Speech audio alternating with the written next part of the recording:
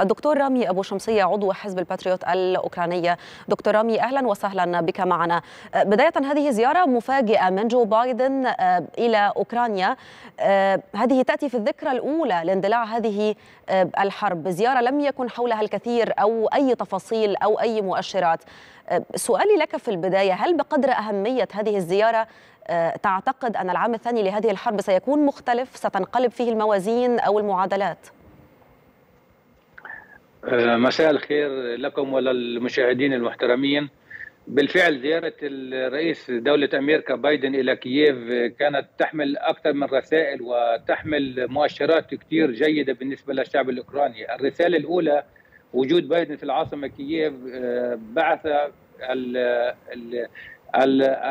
الفرحة والامتنان له لأن الشعب الأوكراني يعيش سنة في الحرب وبالتالي وجود بايدن هنا يعزز من صوت الشعب الأوكراني. الرسالة الثانية موجهة للغرب أنه رئيس دولة أمريكا توجه هنا إلى أوكرانيا وبالتالي أنتم يا رؤساء العالم الدول الغربية تفضلوا زوروا مدينة كييف والعاصمة لأنها تقريبا هي محررة ولن يستطيع الروس أن يحضروها. الرسالة الثالثة موجهة إلى الروس لأنه آخر فترة كان من الاتحاد الروسي الابتزاز بالأسلحة النووية ووجود بايدن اليوم وسفارات الانذار كانت تعمل. م. هذه تدل على أن بايدن جاء برسالة قوية من الدعم العسكري والاقتصادي والسياسي لدولة أوكرانيا. وبعتقد إنه السنة هذه راح تبقى سنة التحرير لجميع الأراضي الأوكرانية التي تم احتلالها.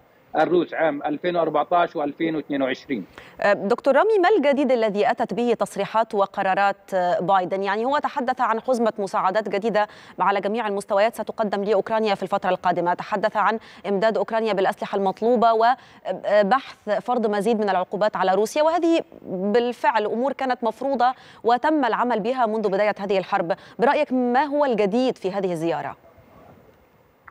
الجديد في هذه الزيارة أنه بوتين من وسط العاصمة كييف كييف العاصمة الصامدة أمام القصف الروسي الإرهابي أنه من منصة العاصمة أعلن عن المساعدات بما يعادل يعني 700 ألف دبابة من الشركاء أمريكا يعني لأوكرانيا كان العدد أقل بقليل جدا ولكن 700 ألف دبابة من الدبابات المتطورة بالإضافة إلى المدفعيات طويلة المدى 300 كيلو متر وبالإضافة إلى المضادات الجوية.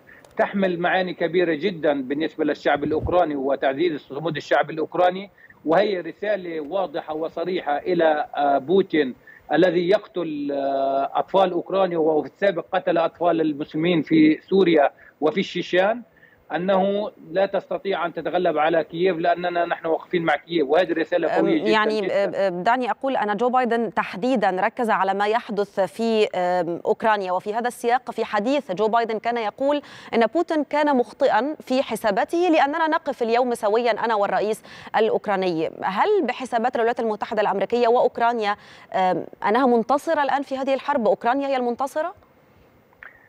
سياسيا أوكرانيا هي المنتصرة ولكن على أرض الواقع هي تحقق انتصارات وهي ذاهبه للانتصار الكامل لتحرير جميع دولة أوكرانيا. ولكن على أرض الواقع يوجد القصف ويوجد القتل من قبل الجيش الروسي للمدنيين الأوكران وتدمير المدن. وبالتالي صعب جدا أن نكون أن نقول أن أوكرانيا انتصرت ولكن سياسيا هي منتصرة وقوف العالم معها والدول الحرة في جميع أنحاء العالم.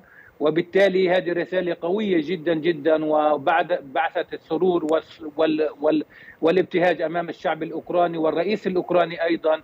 ولكن صغرت من قوة روسيا التي دائما تبتز الشعب الأوكراني بالأسلحة النووية وبالقتل والقصف البنية التحتية.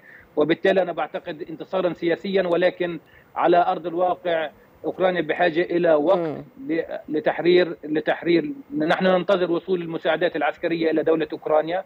وأنتم تعلمون انها أننا بحاجة إلى وقت ممكن شهر أو شهرين لوصول هذه الأسلحة التي تم الإعلان عنها اليوم.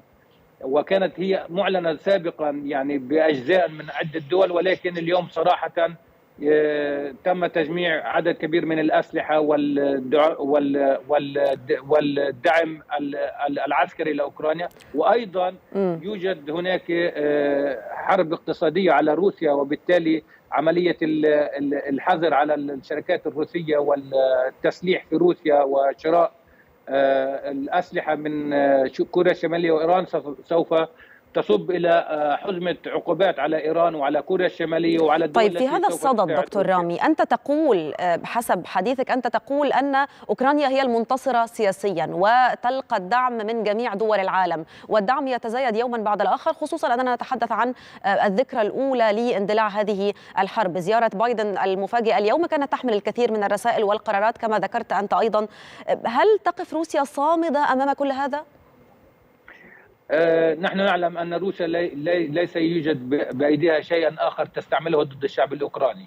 يعني روسيا كانت في البداية تقول أننا سوف نحتل كييف خلال ثلاث ثلاثة أيام واليوم نرى كيف روسيا ولكن بوتين لن يرضى بالهزيمة. آه هلا ممكن بوتين ممكن لا يرضى بالهزيمة ولكن بالنسبة لل يوجد هناك روس ناس يعني يفكرون اقتصاديا ورجال أعمال وبالتالي لا يقبلون ما يفعل بوتين وبالتالي بوتين يقمع المعارضه عنده وبالتالي بوتين ليس لديه أي خيار. ولكن العالم كله بما فيها أمريكا والغرب وأوكرانيا سوف تخضع بوتين إلى طاولة المفاوضات والانسحاب من جميع الأراضي الأوكرانية كاملة والخضوع لكل الشروط الأوكرانية بما يخص عملية السلام بين الدولتين أنت تحدثت وذكرت منذ قليل طاولة المفاوضات واللجوء إلى المباحثات السلمية وما إلى ذلك هل تعتقد أن عام 2023 أو العام الثاني لهذه الحرب يكون هناك احتمالات كبيرة للجوء لهذه المفاوضات التي أصبحت شبه مستحيلة الآن؟ طبعا نحن نعلم جيدا أن الهدف لأمريكا ودول الغرب هو إضعاف الاتحاد الروسي وبالتالي الاتحاد الروسي من منذ فترة طويلة يبتز الاتحاد الأوروبي عبر الطاقة. وبالتالي هم يجب أن يتخلصوا عنه يتخلصوا منه. وبالإضافة بالنسبة لأمريكا لا تعتبر روسيا دولة عظمى وإنما تعتبرها دولة إقليمية. ولكن إضعاف روسيا هذا يفيد أمريكا للتفضي إلى دولة الصين في المستقبل. ولكن نحن كشعب أوكراني وأوكرانيون من أصول عربية إحنا لم لم لم نعنى الحرب ولكن قبلنا بالقتال الذي قدم إلينا الجيش الروسي لقتل أولادنا وقصف مستشفياتنا ومساجد مساجدنا وكنائسنا وبالتالي طب بخصوص بخصوص ملف الوساطة أو الحلول هل من طرف الآن قادر على إحداث تقدم في هذا الملف أو دعوة روسيا إلى قبول شروط أوكرانيا أو الغرب؟ للأسف الشديد لا يوجد وسطاء حاليا ما بين روسيا وأوكرانيا في البداية كانت تركيا ولكن الآن الدور الدور التركي يتجه اكثرا إلى الناحية الأوكرانية لأنه موجود في الناتو وبالتالي لا يستطيع أن يتجه إلى روسيا ويترك أوكرانيا ولا يوجد وسطاء حاليا. ولكن نحن كأوكران وحسب ما إحنا نرى أن الحرب القادمة أو معركة التحرير التي سوف تحدث في الربيع سوف تفرض على روسيا أن تجلس على طاولة المفاوضات بالشروط الأوكرانية وهي الانسحاب من جميع الأراضي الأوكرانية. وبعد ذلك ممكن أن نجلس معهم لكي نتكلم عن الأمن الروسي وحماية مم. الأمن الروسي. غير ذلك لا يوجد لدينا يعني أنت ترى أن الخسارة على أرض المعركة هي التي ستجبر روسيا على اللجوء لطاولة المفاوضات. على كل حال أشكرك شكرا جزيلا. كنت معي من العاصمة الأوكرانية كييف الدكتور رامي أبو شمسية عضو حزب الباتريوت الأوكراني. شكرا على هذه الرؤية وهذا التحليل.